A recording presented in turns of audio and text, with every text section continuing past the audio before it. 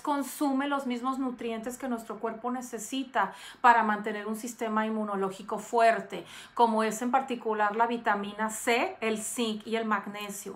Se sabe que el magnesio, un bajo magnesio nos hace más propensos al estrés y la ansiedad, que obviamente nos van a estar agotando y esto al nosotros estar debilitados, pues nuestro sistema inmunológico también se va a ver afectado.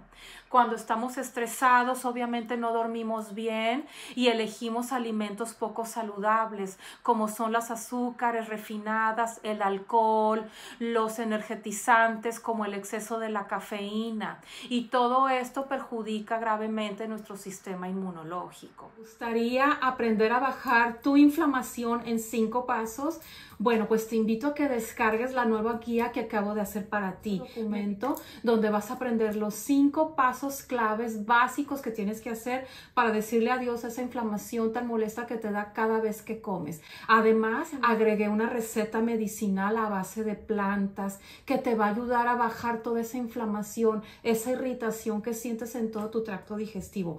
En la descripción de este video vas a encontrar la liga para que descargues esta guía gratuita y la en tu correo electrónico.